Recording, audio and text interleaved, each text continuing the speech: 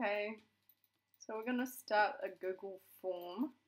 Click on the new button on your Google Drive and go down to more and select Google Forms and it will open up in a new window.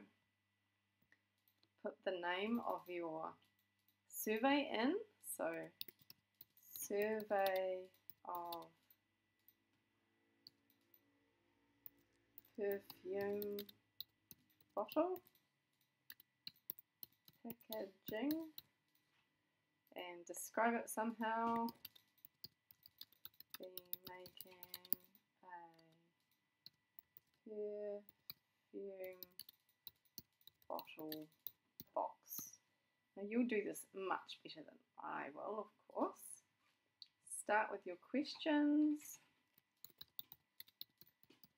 Colour do you think represents sophistication or best?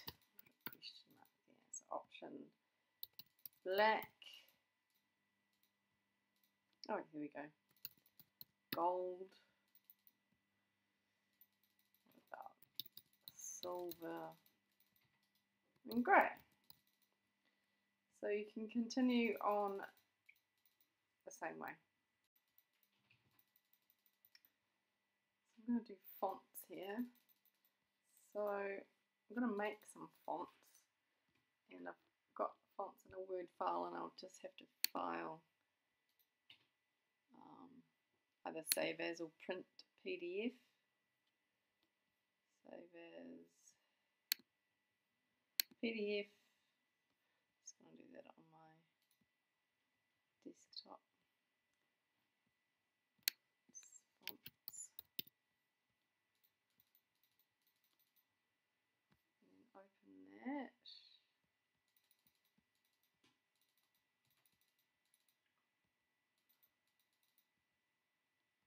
probably easiest way to do this is to just make a text selection. And I'm doing this on a Mac but you guys probably have different ways of doing it. Copy. File, new from clipboard, file, save as to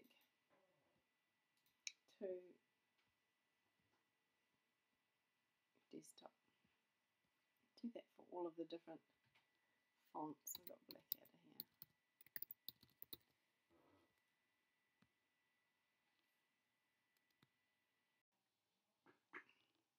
So now we're going to add the image of the Blackadder font. that'll do.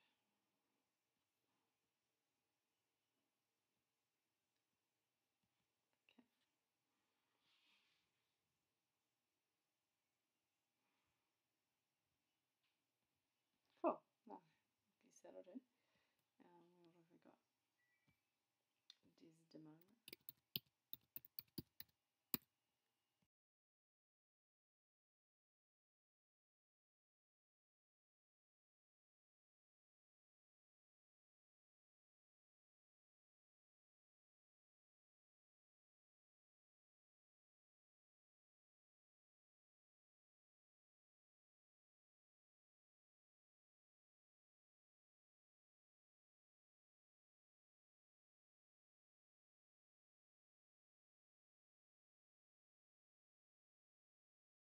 Okay, so what we're going to do, you'll continue to um, fill up that and what you're going to do is you're going to send it and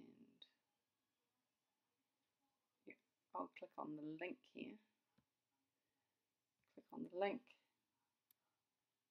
shorten it, copy send it out via your email to a bunch of people. So once you've got some responses, and hopefully you have more than five, click on your responses. Now you probably have a bunch of these, and if you want to, you can use these charts.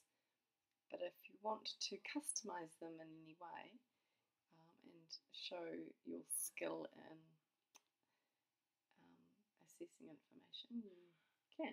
So either copy your chart and use it as you would, or the, what we're going to have to do, and it's a bit of a process, is to download them. So we need to um, click on Google Sheets and once it's finished saving, you're going to download it as a Microsoft Excel file save that where you need to.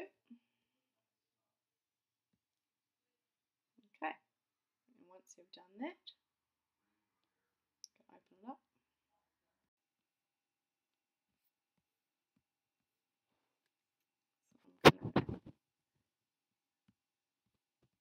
Add a row in because that's when I'm going to add up my results.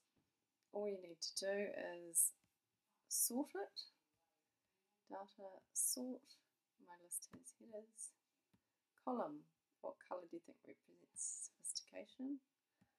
Okay, and what I'm going to do is I'm going to count 1, 2, 3, 4, 5, 6 results for that one.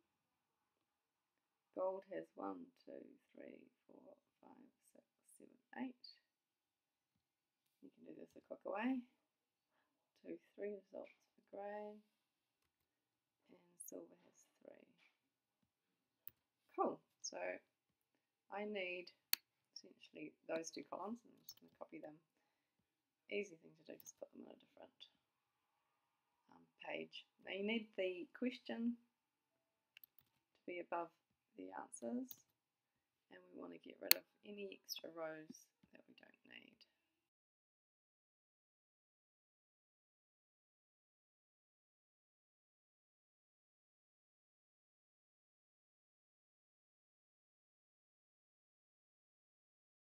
So once you've got your columns with the different options and the questions and your data, then it's simply a matter of going to insert and you can create a bar graph from there. So the question should be at the top there and the bar graph there. What's quite fun is that now you can customize your chart. So because this answer is black, I'm going to actually make that um, a black box, but maybe dark grey like that. Gold, you can change that to a goldy colour. Grey, let's change this to grey. Silver, well, I can't really represent that too well, but something like that. Cool. And then you can continue um, your answers like that and then simply save, copy that and import it into your Word document. Copy and paste.